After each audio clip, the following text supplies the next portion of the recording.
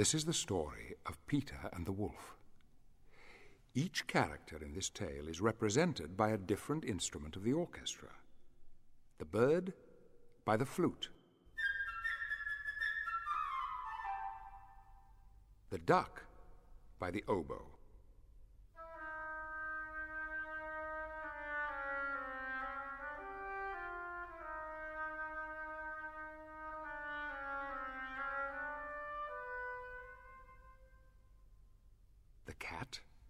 By the clarinet.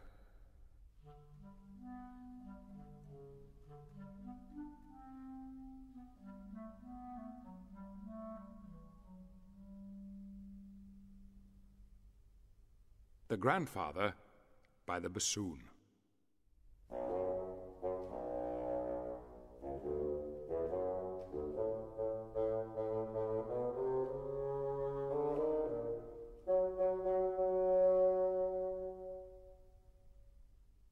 The wolf by the three horns.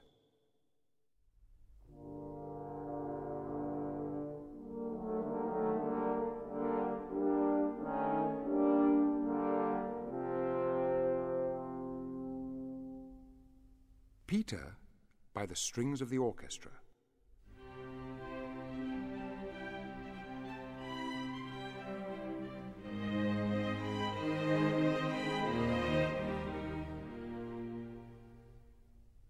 Rifle shots by the kettle drum and the big drum.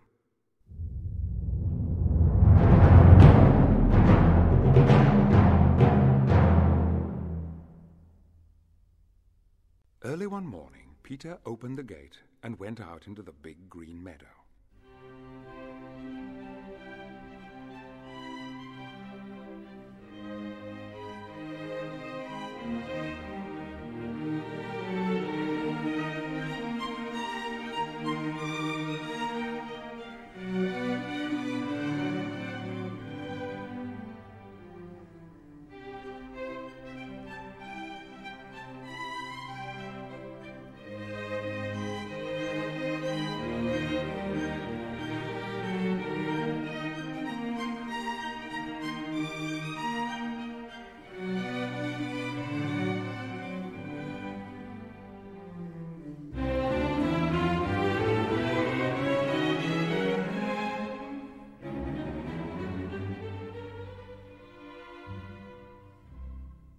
On a branch of a big tree sat a little bird, Peter's friend.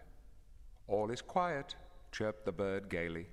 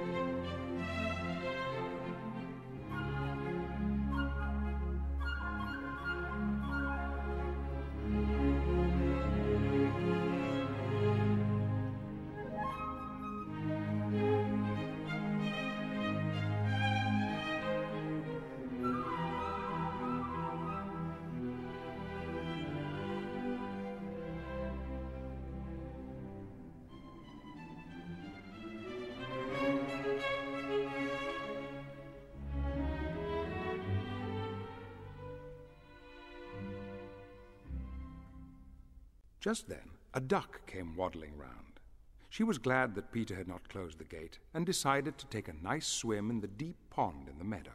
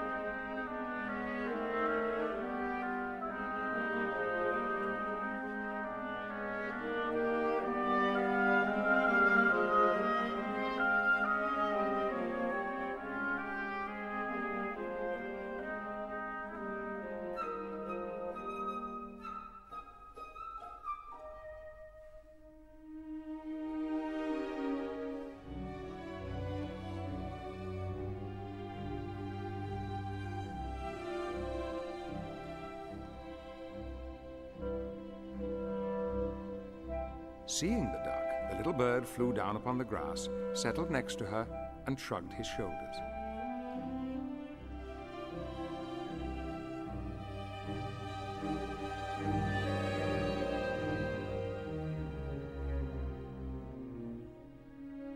What kind of a bird are you if you can't fly? said he. To this the duck replied, What kind of a bird are you if you can't swim? and dived into the pond.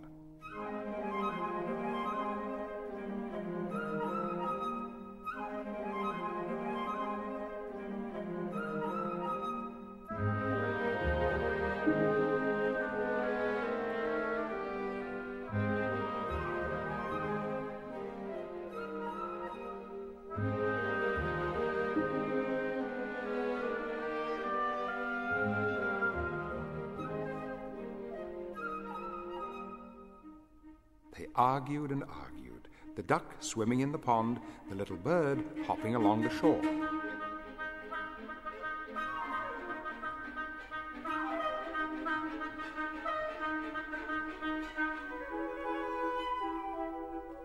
Suddenly, something caught Peter's attention. He noticed a cat crawling through the grass.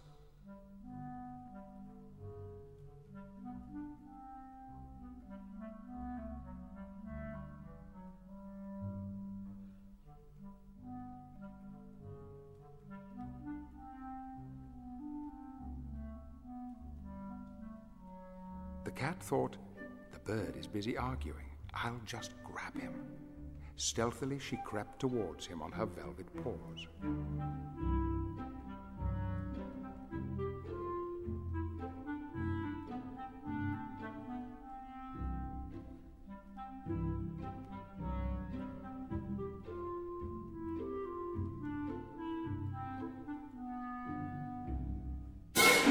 Look out! shouted and the bird immediately flew up into the tree.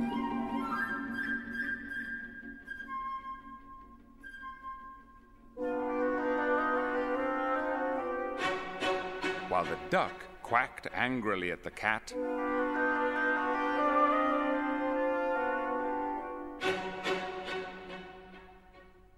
from the middle of the pond.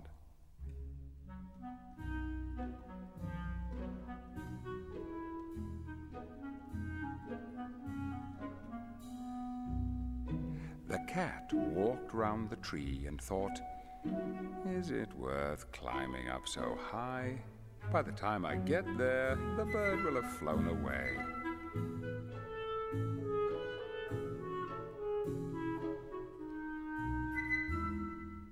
Grandfather came out. He was angry because Peter had gone into the meadow. It is a dangerous place. If a wolf should come out of the forest, then what would you do?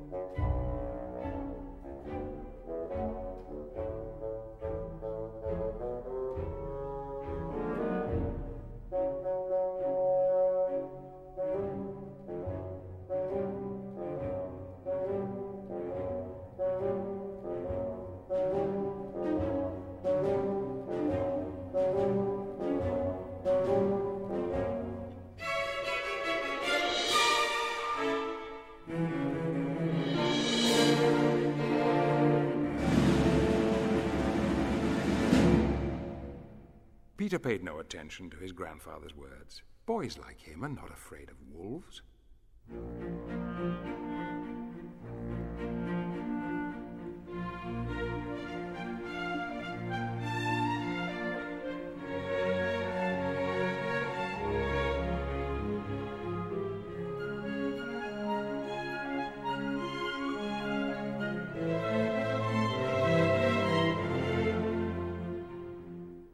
But grandfather took Peter by the hand, locked the gate, and led him home.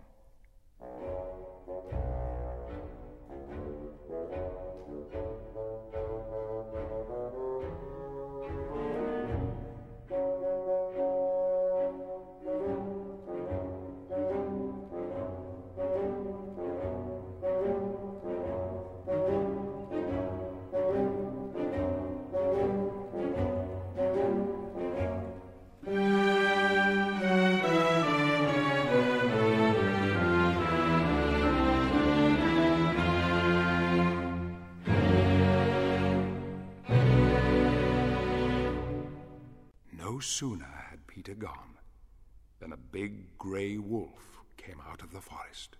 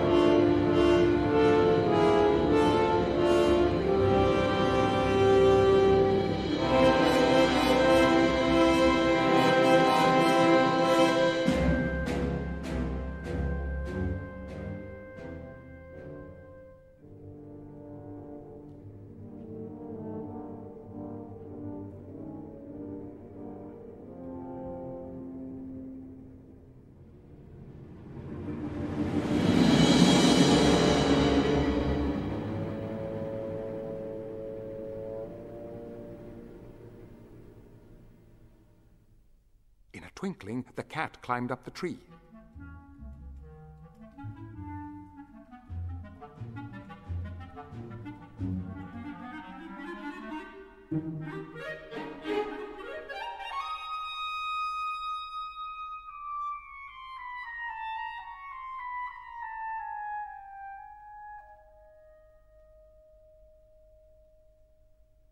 The duck quacked and, in her excitement, jumped out of the pond.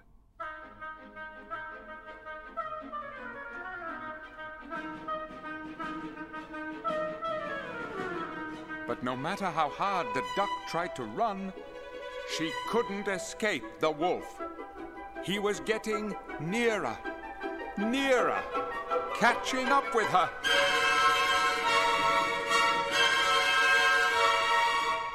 And then he got her and with one gulp swallowed her.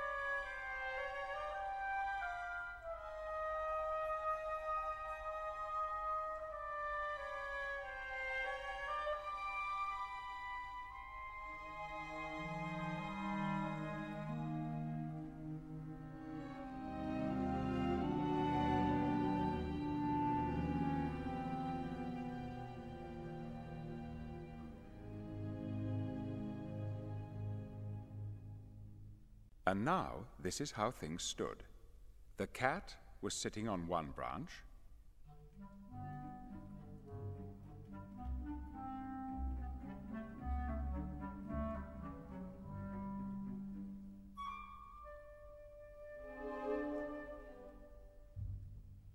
The bird on another. Not too close to the cat.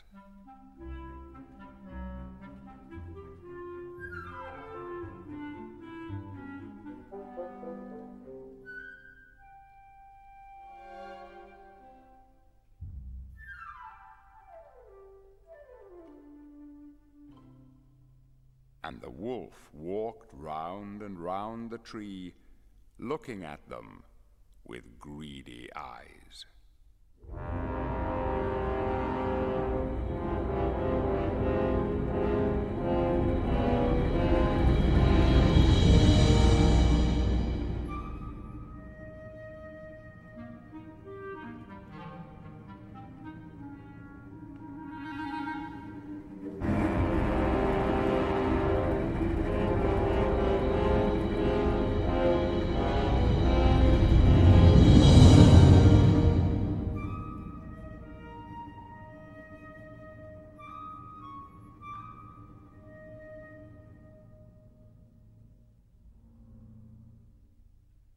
And now this is how things stood.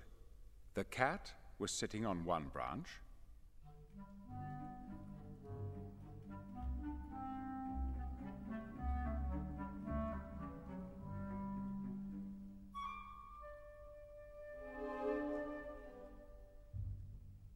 the bird on another,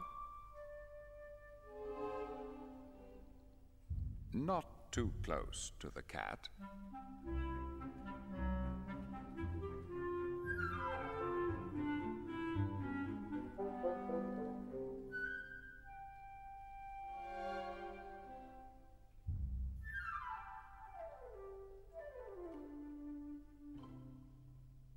The wolf walked round and round the tree, looking at them with greedy eyes.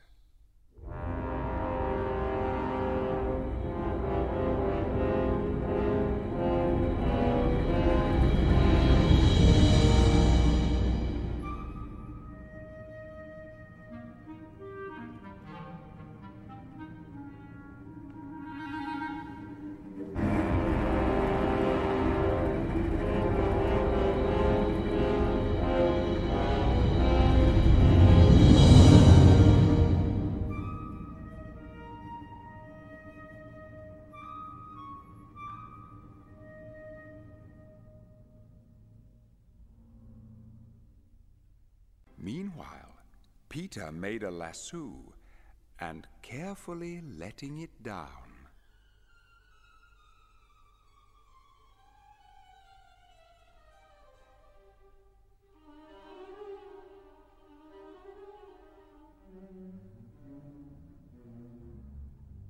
Caught the wolf by the tail and pulled with all his might.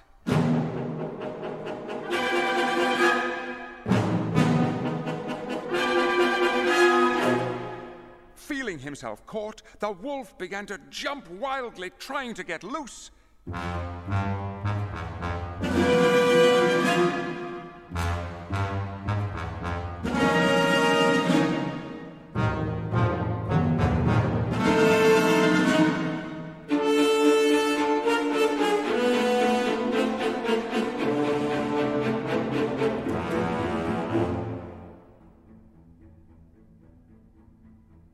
Peter tied the other end of the rope to the tree.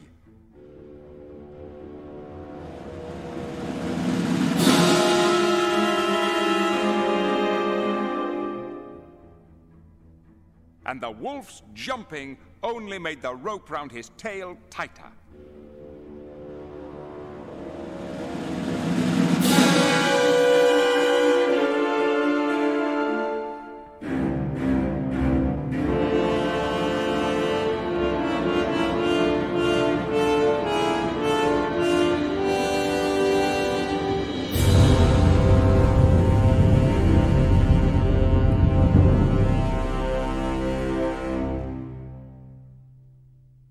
Just then,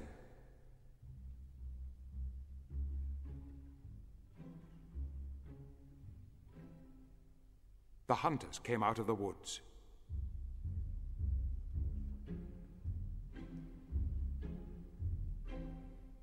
Following the wolf's trail and shooting as they went.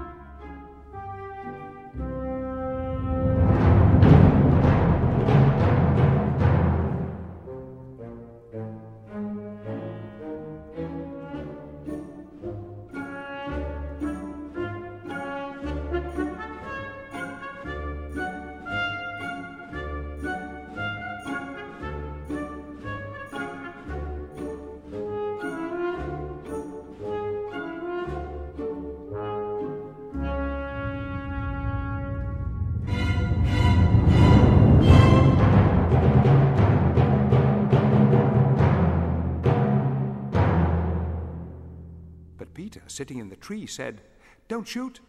Birdie and I have caught the wolf. Now help us to take him to the zoo.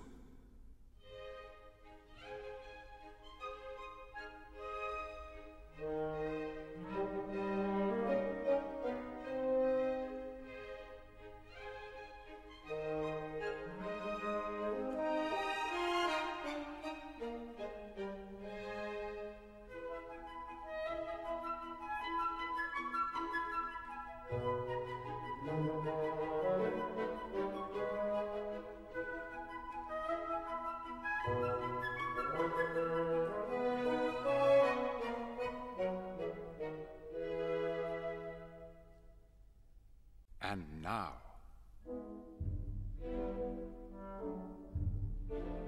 Imagine the triumphant procession.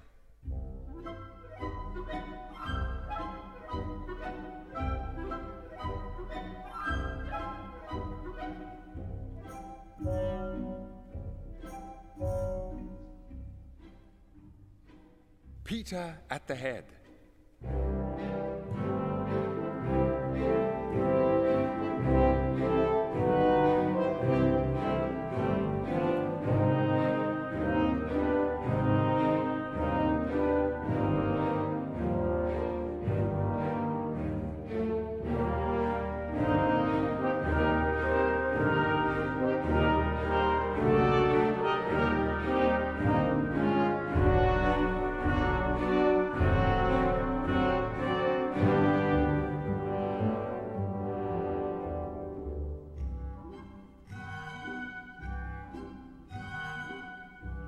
After him, the hunters leading the wolf.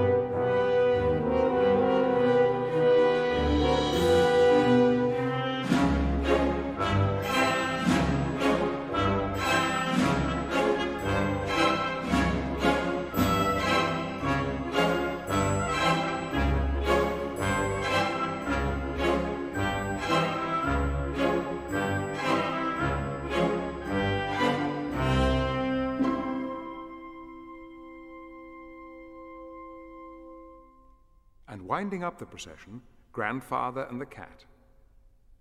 Grandfather tossed his head discontentedly. Well, and if Peter hadn't caught the wolf, what then?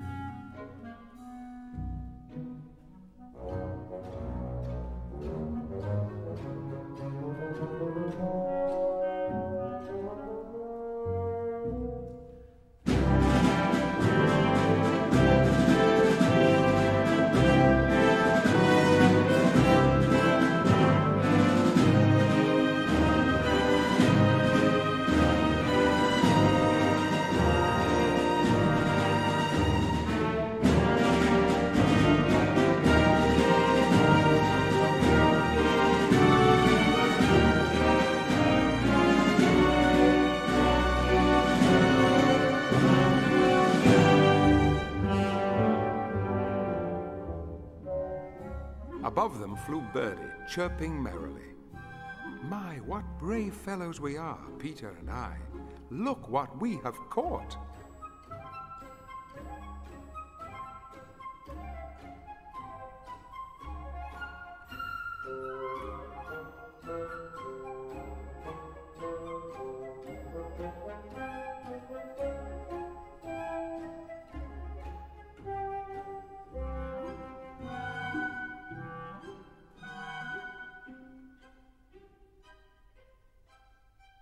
If you listen very carefully, you can hear the duck quacking inside the wolf, because the wolf in his hurry had swallowed her alive.